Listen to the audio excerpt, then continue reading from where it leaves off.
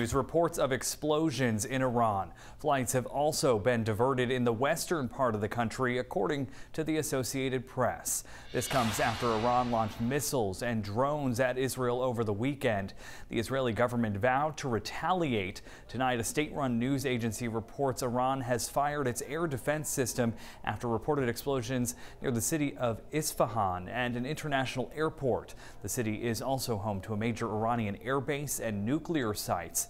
This is, of course, a developing situation and we'll continue to keep updated on air and online as we learn more.